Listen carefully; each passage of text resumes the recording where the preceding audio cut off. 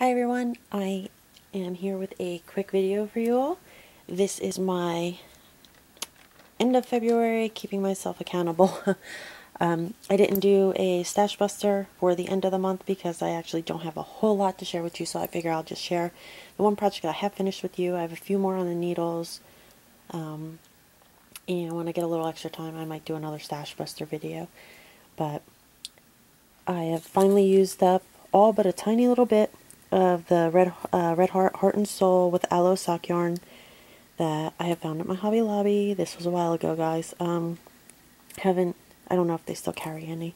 Haven't seen it, but I haven't been there for quite a while yet either. There's only a tiny bit of that left. That was in the color Ivory, as it says right here, and the Deborah Norville Serenity Sock Weight yarn.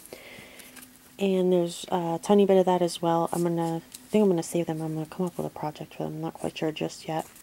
Maybe mix all the colors together and make a pair of like Franken socks, you know? um, and this is in the chili colorway. Is that going to actually show you? Yeah, chili colorway. And this is what I come up with. Now I have made another pair out of this same yarn, but they were they were um, shorter. And sorry, I forgot the sock blockers today, guys. Um, this I have done different normally I do the leg of my sock, ribbed. This time I did it just knit. So you can see it's just plain just like the foot of the sock. And I did the rounded toe that I like. And also uh, fish lips kiss heel. And then I did um, a 2x2 rib cuff. And these are shorty socks. I do love how these came out. Um, they're super soft. But that's what I have been working on. Um, actually, that's what I finished. I'm actually working on a bunch of other projects. Um, like I said, I didn't get anything else finished. So, so far for the month of February, I have finished two pairs of socks are completely finished. Um, five washcloths for my daughter. Um, the hand sanitizer cover, um, which I don't have with me to show. Okay, I'm going to put that in a letter, another video later on when I um, when I remember to do that. Sorry, guys.